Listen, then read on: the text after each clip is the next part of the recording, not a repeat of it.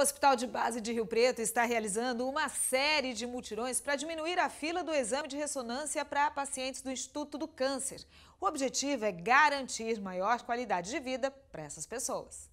Com capacidade para realizar 105 ressonâncias por mês, o Hospital de Base de Rio Preto fez hoje um mutirão de atendimentos para diminuir a fila de espera de pacientes do Instituto do Câncer. A intenção é de que em três dias, 68 pessoas sejam atendidas. E com isso, a demora, que sem o mutirão poderia chegar a seis meses, não comprometa a qualidade no tratamento a partir de diagnóstico precoce de cada avanço da doença. Que são pacientes, todos eles ou com o diagnóstico, ou já em tratamento, ou com forte suspeita de tumor.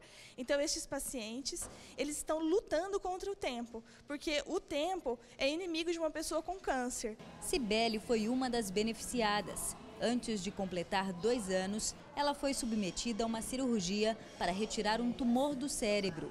Agora, todo ano, tem que fazer acompanhamento por meio de exames. E quando a mãe Regileia ligou para agendar a ressonância, foi informada que não tinha previsão de quando o exame seria realizado. Não, eu fiquei muito chateada, muito preocupada, entendeu? Porque é, não tinha previsão para quando ia marcar, porque com sedação disse que era muito difícil vaga. Só mesmo com o mutirão ela pôde ficar mais tranquila em relação à saúde da filha. A gente não sabe como que tá ela, entendeu? Por dentro, então vai muito bom acompanhar esse mutirão ter feito e sair rápida.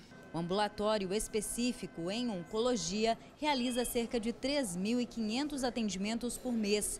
Pacientes que dependem da realização dos exames por imagem para dar continuidade em seus tratamentos com o esforço de todas as equipes juntas, a gente consegue dar sobrevida para essa pessoa. Essa pessoa tem uma vida normal, continua vivendo, continua trabalhando, tem a família. Então, com isso, a gente otimiza a vida da pessoa.